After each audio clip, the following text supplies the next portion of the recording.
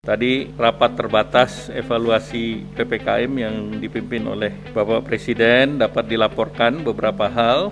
Khusus luar Jawa Bali akan ada perpanjangan PPKM tanggal 7 sampai dengan 23 Desember 2021. Tadi juga dilaporkan terkait uh, varian of concern yaitu di Omicron dan sudah terdeteksi sekitar 45 negara dan pemerintah masih mengevaluasi, memonitor perkembangan terkait dengan Omicron dan uh, dari International Health Regulation WHO meminta uh, genome sequencing dan memperbanyak sampel, disiapkan respons fasilitas kesehatan, pembatasan kegiatan masyarakat dan mensegerakan vaksin untuk masyarakat rentan dan dalam hal ini karena yang banyak terdampak juga adalah anak-anak maka vaksinasi anak-anak perlu untuk terus didorong.